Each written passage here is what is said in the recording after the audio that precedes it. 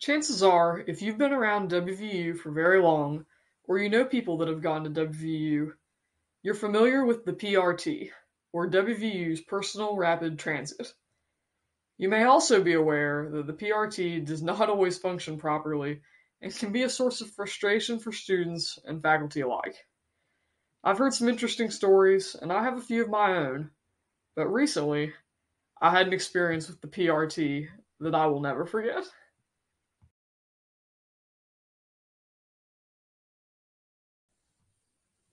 On a sunny afternoon at the PRT station downtown, I started to board the PRT car to head to one of my classes on the Evansdale campus.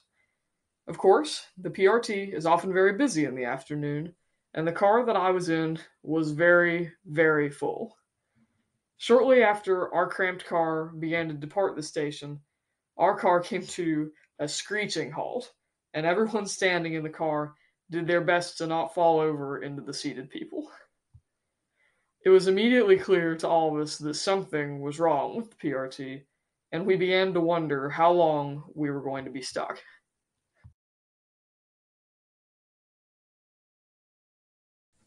Next, the student closest to the intercom in our car reported that our car had stopped, and the maintenance crew voiced back over to us that they were aware that we were stuck and that someone was on their way to help us. After the maintenance person arrived, he very quickly determined that our particular car was not functional, and that was the reason that the whole PRT track was shut down.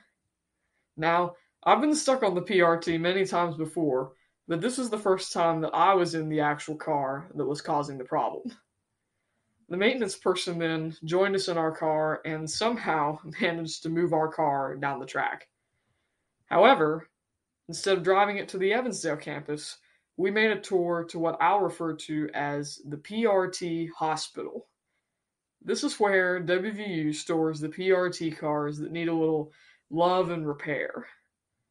The whole maintenance crew was there waiting for all 15 of us with big smiles, and they thanked us for our patience.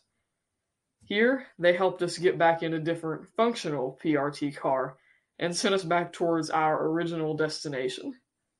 I think at this point, all of us passengers had had enough of the PRT for one day.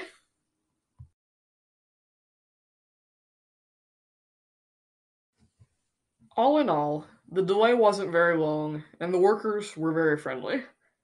The folks in my car also kept a very positive attitude about the whole situation. Things didn't go according to plan, but we all kept calm and no one got hurt. If you ever find yourself stuck in the PRT, remember that you can use the intercom to alert the workers if they don't say something to your car first. The maintenance workers are very friendly and they will do their best to help you get back on track as quickly as possible. Also, remember that most professors are understanding of students being late to class because of the PRT, so don't feel stressed while you're waiting for the PRT to move again.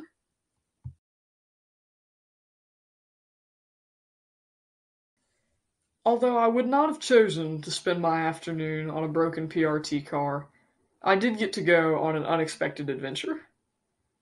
Sometimes our most unexpected troubles become our favorite stories to tell. I'm sure I'll never forget the day I got to visit the PRT hospital. We all made the best of a difficult situation, and everything turned out all right. While your country roads may not always be straight, at WVU, they will always get you to where you need to go.